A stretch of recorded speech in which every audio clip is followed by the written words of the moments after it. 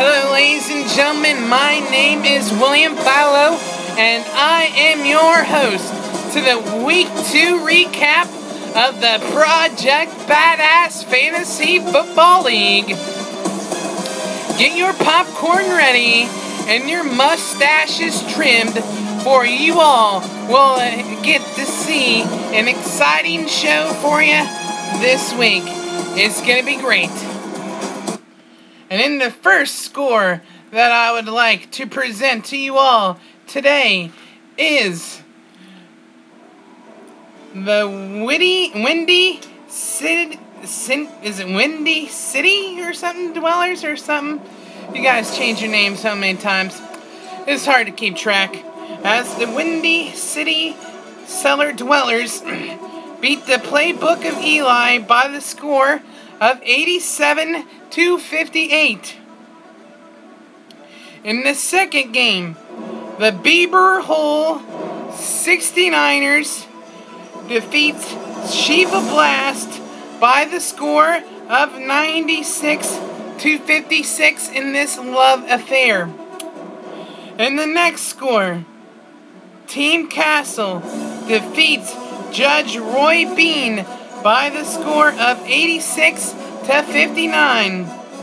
And the Fountain of Youth defeats the Real McCoys by the score of 106 to 80. And in the next score,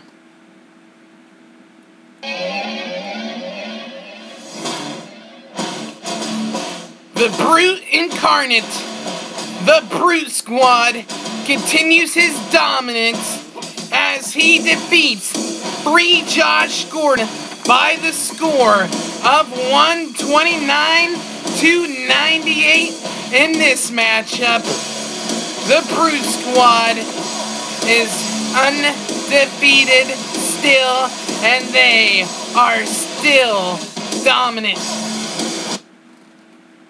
And in our next award that we have this week is the YAP Award, and that is the You Are Pitiful Award. And that honor goes to Shiva Blast as they stink it up this week. They are pitiful. They suck as they score 56 points last this week. You earned that award. Congratulations. And that is your week two recap, ladies and gentlemen. And you all have a great week. Thank you very much. And you all have a great day. Thank you all. And have a great week. Thank you.